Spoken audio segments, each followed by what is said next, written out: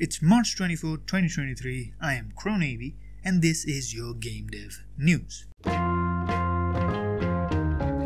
So AI is here to stay. Many people love it, some hate it, but one thing is sure, it's gonna take all of our jobs. With that said, Unity on March 22, 2023 announced its integration of AI for Unity for faster and easier game development.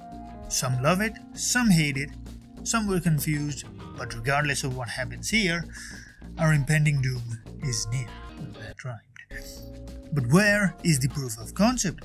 Because if you look at the video, all they say and imply is that if you write something like a large scale terrain with moody sky, it should be there. But where is it, Unity? Where is my large scale terrain with moody sky?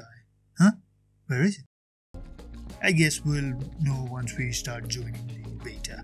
But if you do want this proof of concept, then there is a package that you can install and use. You can find a short tutorial made by Game From Scratch where he shows what it can do and how robust it actually is or is not and there is also a tutorial where you can go and do it step by step.